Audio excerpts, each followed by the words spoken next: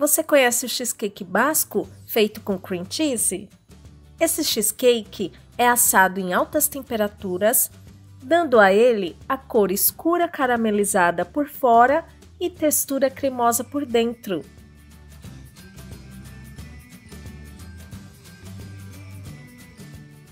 Olha a textura do cream cheese. Tá vendo? Ele é bem pastoso.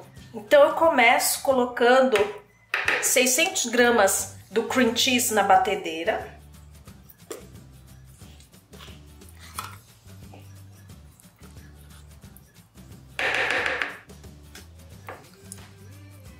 Uma xícara de chá de açúcar.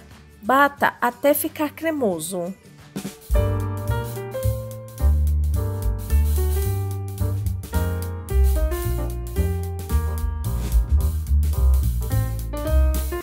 Adicione aos poucos quatro ovos.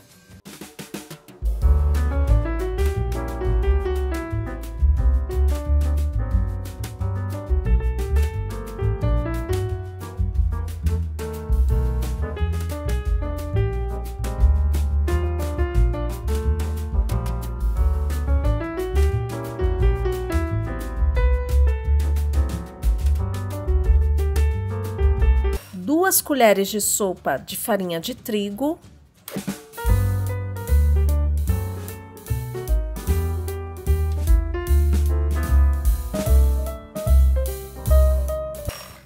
acrescente 150 ml de creme de leite.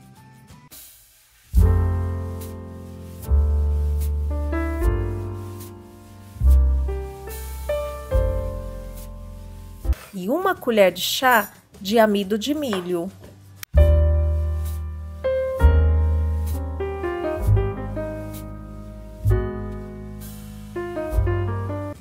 Por fim, coloque uma colher de chá de essência de baunilha. Continue batendo até que a mistura fique homogênea.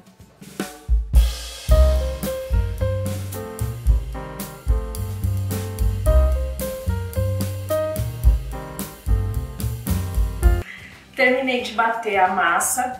Agora eu vou colocar ela na forma untada com papel manteiga.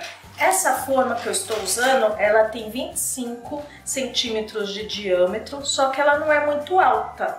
Agora, se você tiver uma forma mais alta, o ideal é usar uma de 22 centímetros. Então eu vou medir aqui, deixar a sobra do papel manteiga, o lado que brilha para cima, é só cortar.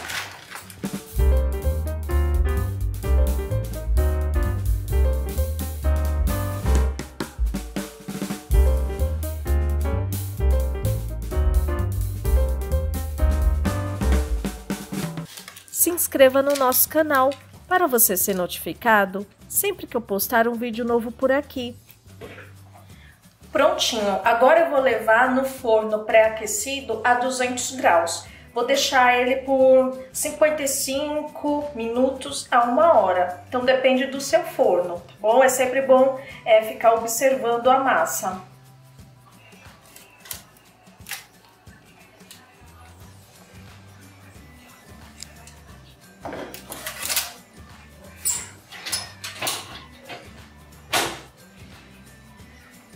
Espere esfriar, desenforme.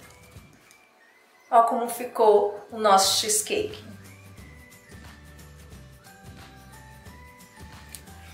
Para desenformar super fácil, é só puxar o papel manteiga com cuidado.